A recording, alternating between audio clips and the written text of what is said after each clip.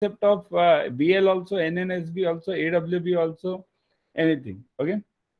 So if it states shipped in apparent good order, laden on board, clean on board, or other phrases. Other phrases means what?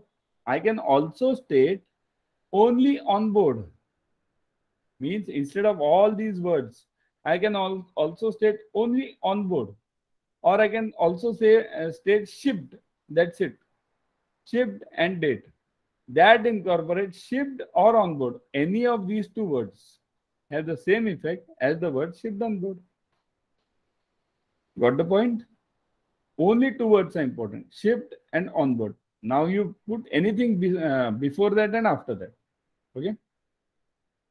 Place of final destination, port of discharge or airport of destination. Remember, when you see these words, when you see port of